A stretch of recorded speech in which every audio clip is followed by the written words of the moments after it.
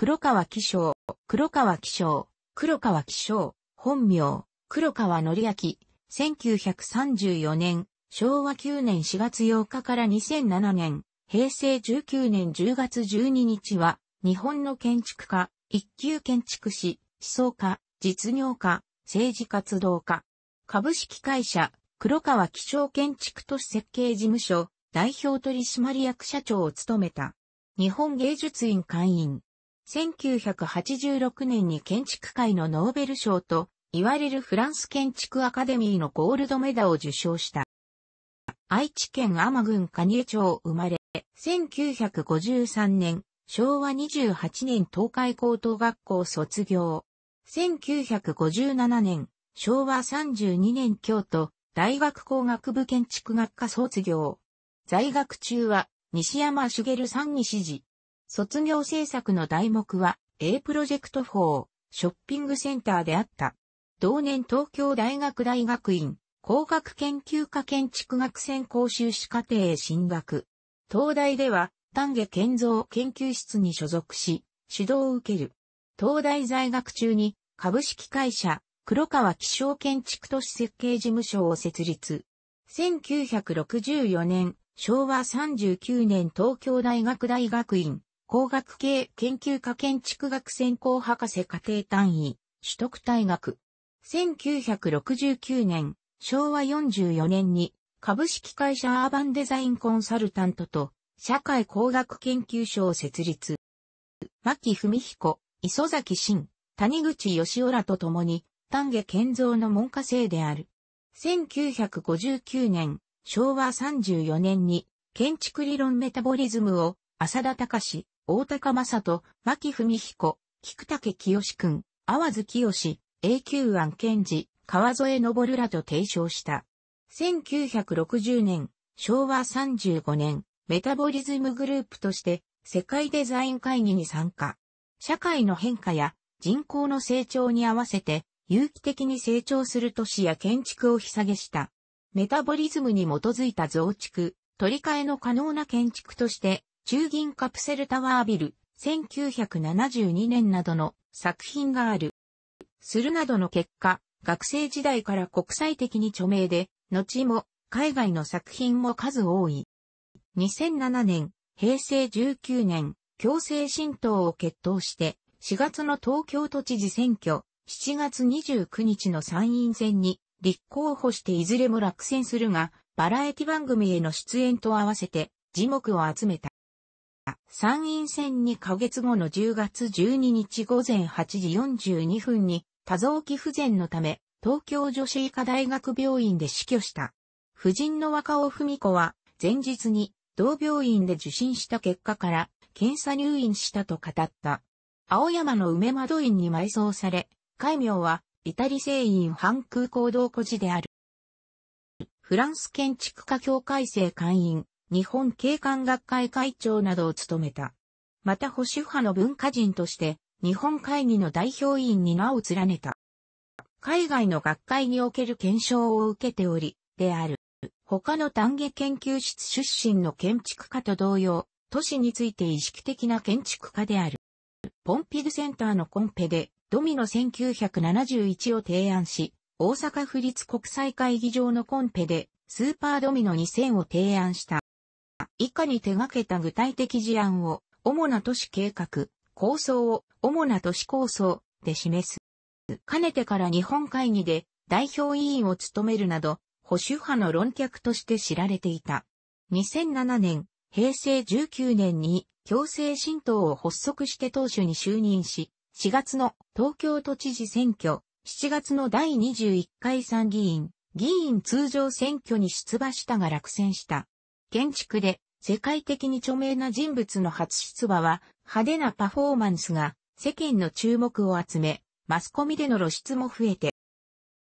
が、都知事選出馬表明の約8ヶ月後に世を去ったため、建築家、磯崎慎は黒川の死後、彼の立候補によるアイデア表明はメディア型建築家として当然のこととみなし、都知事選のマニフェスト群を抜いていた。そのアイデアは誰かが実現させることだろうと述べた。2007年、平成19年2月21日、石原氏とは親しいが、議会無視、側近政治、無意味な五輪招致など目に余ると2007年、東京都知事選挙に出馬を表明。本人は石原を応援していた8年前から出馬を考えていたと発言した。3月16日には強制新党を立ち上げた。主要4候補の一人としてテレビ討論に出演するなどメディアに取り上げられるも、落選、票数15万9126、得票率2.9%。選挙翌日のフジテレビのインタビューでは、浅野史郎が敗因や感想を述べ総括をしていたのとは、対照的に都政の具体的な話題に熱弁を振るい、次の都知事選に触れた。選挙の2日後に強制新党として参院選に出馬する意思があることを明らかにした。以下は2007年、平成19年3月5日に都庁で発表したマニフェストである。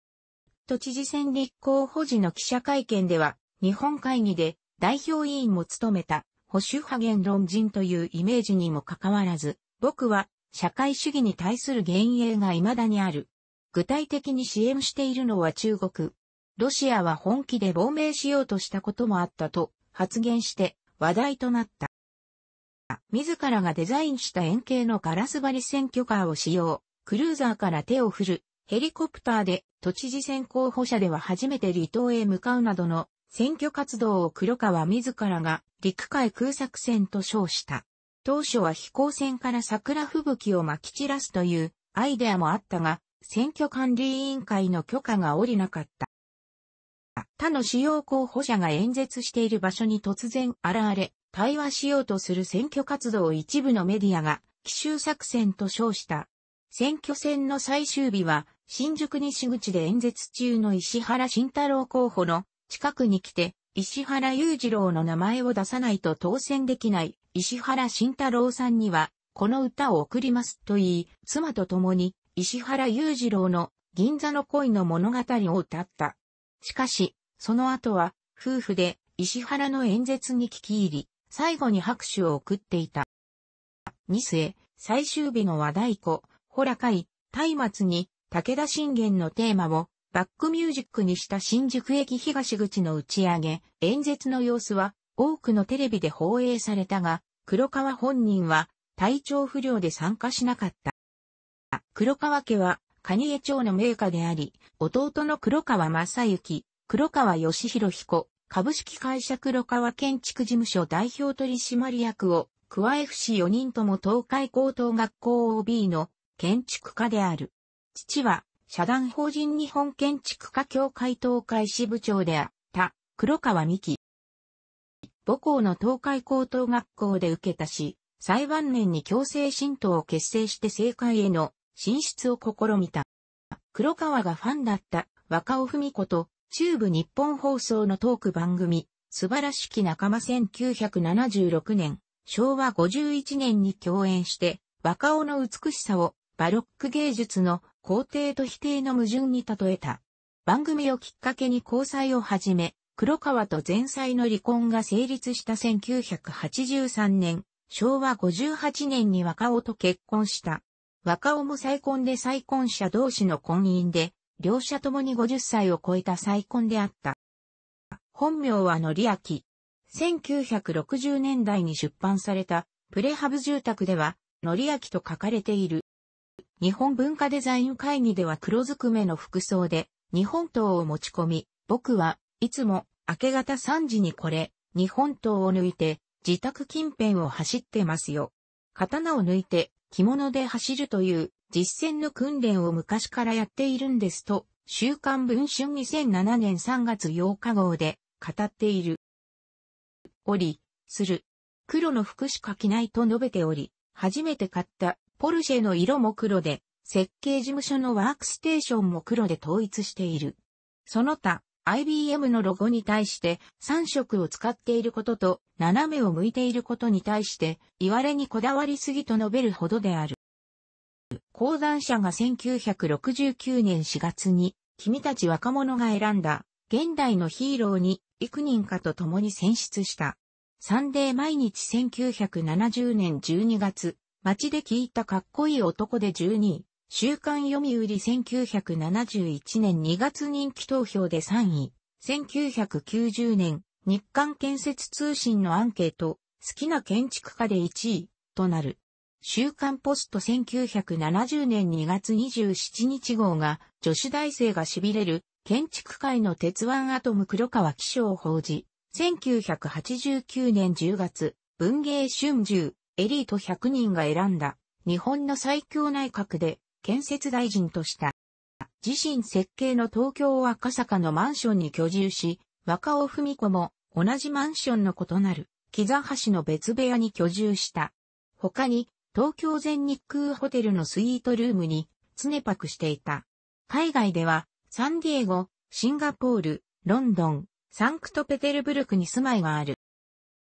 亡くなる2日前、妻のあまり良い奥さんじゃなかったわねという言葉に対して、そんなこと、そんなこと、本当に好きだったんだからと答えたのが妻と二人で交わした最後の言葉とされる。台風で甚大な被害を受けた高千穂鉄道の再建のため、同鉄道から施設の継承を予定している、新和高千穂と六甲鉄道に、された。本田技研工業に同社初となる小型ジェット機、ヤフーの集計検索キーワードランキング、集計期間10月8日から10月14日の急上昇時にワードランキングで黒川気象主居が1位になった。没後から久しい2014年12月15日に、個人事務所、プライベートカンパニーである、黒川気象建築都市設計事務所が同日に、民事再生法の適用を申請したと、長男である、会社代表の黒川未来夫が発表。今後は大手建築コンサルタント業の日本公営に、経営支援を仰ぐ予定。夫人は、女優の若尾文子。弟は建築家の黒川正幸。前妻との間に一男一女。楽しくご覧になりましたら、購読と良いです。クリックしてください。